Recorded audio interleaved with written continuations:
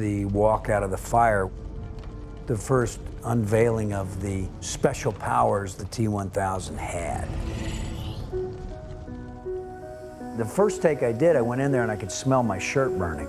I could feel it on the back of my ears. My ears were getting singed. The first shot I had to do was CC1 walking out of the fire. That was 375 frames long, fully skinned, walking T1000. I remember shooting that, I remember everybody being frustrated. I remember me being very frustrated because I thought I was fucking it up for everybody. I think we did like 27 takes or something, I don't know. I do remember that day, Jim and I sitting somewhere in that canal off to the side in the shade. I think he could sense how frustrated I was.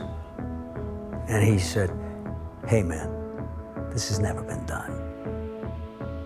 We're making movie history. This is history right now.